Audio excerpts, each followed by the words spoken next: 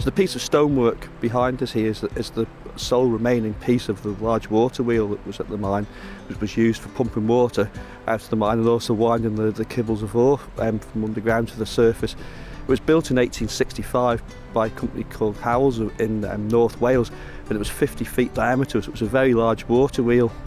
And in fact, um, when the mine closed, it was dismantled, taken away to Cornwall, and then reappeared in the Isle of Man in the early 2000s by, and was re-erected at Laxey at the Valley Gardens by the um, Laxey Mines Research Group. You can still sit down there turning to this day on the Valley Gardens.